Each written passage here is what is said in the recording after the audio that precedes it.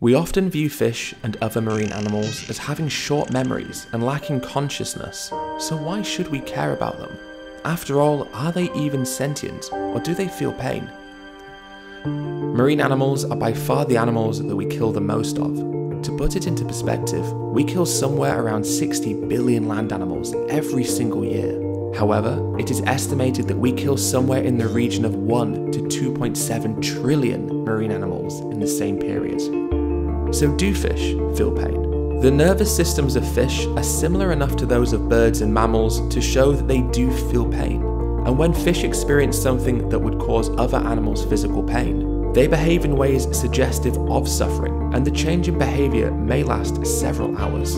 Fish will learn to avoid unpleasant experiences like electric shocks, and painkillers reduce the symptoms of pain that they would otherwise show. A scientific panel for the European Union concluded that the evidence shows that fish do feel pain. Ultimately, it is easier for us to recognize suffering in an animal such as a pig, who can vocalize their pain. But for marine animals, their suffering may be silent to us, but it still exists for them nonetheless. Fish have also been shown to have stress responses, with their cortisol levels, a hormone that is released during times of stress, becoming raised when they were taken out of water and placed in a bucket.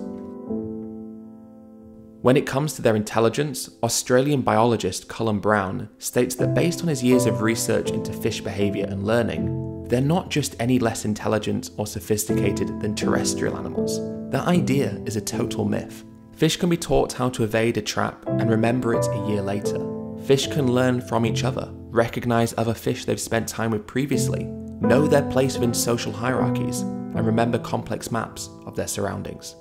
Fish also work together with different species of fish and show cooperation and trust, with fish remembering which other fish were cooperative or uncooperative. The fact that fish can create alliances, formulate rules, and engage in acts of mutualism, as well as alter their behaviours to maximise their own individual success, demonstrates how highly intelligent and cognitively complicated they are.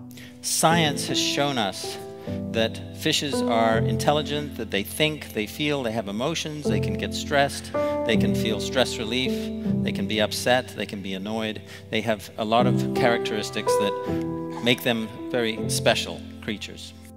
Yet, even though these animals are highly intelligent and can show emotions and feel pain, we cause huge amounts of suffering and ultimately death to incomprehensible numbers every single year. Impaling live bait on hooks is a common commercial practice. For example, longline fishing uses hundreds or even thousands of hooks on a single line that may be 50 to 100 kilometers long. When fish take the bait, they are likely to remain caught for many hours before the line is hauled in. Fish caught in the wild are dumped on fishing boats and will either die by suffocating, being crushed because of the weight of all the other fish on top of them, or through their internal organs rupturing from the rapid pressure changes during the ascent. Another method of catching wild fish involves gill nets, walls of fine netting in which fish become snared, often by the gills. They may suffocate in the net because, with their gills constricted, they cannot breathe. If not, they may remain trapped for many hours before the nets are pulled in. The fish that are still alive when they begin being processed will then die through a combination of suffocation and evisceration, which is where the animals are gutted alive.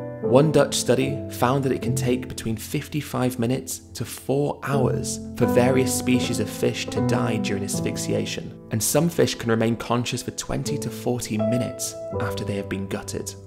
Aquafarming, which is the equivalent of factory farming for fish and is responsible for nearly half of all fish consumed worldwide each year, involves fish spending their entire lives in underwater enclosures, normally either in sea cages or concrete tanks.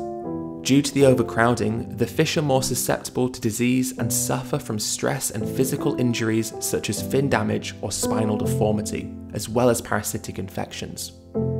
It is not uncommon for many of the fish to die in the farms, and because of this, antibiotic use is rampant within fish farms.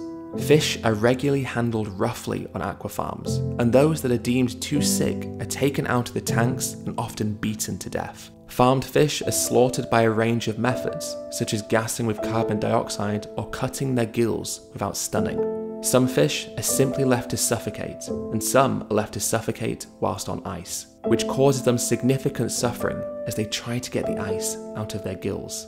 They are also often processed while still alive, as even though the cold may paralyze them, scientific studies have shown that they still remain conscious and can feel pain and stress as they begin to be gutted alive.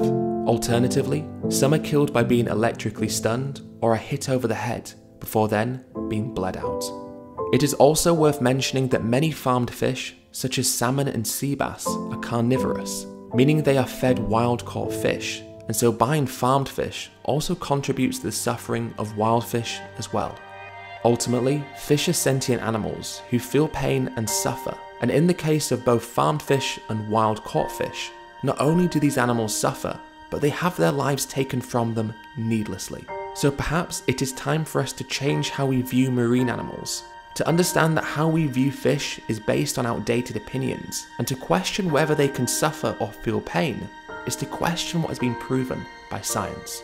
Perhaps it is time for us to see fish for who they really are feeling, intelligent beings whose worth far exceeds our desire to eat them.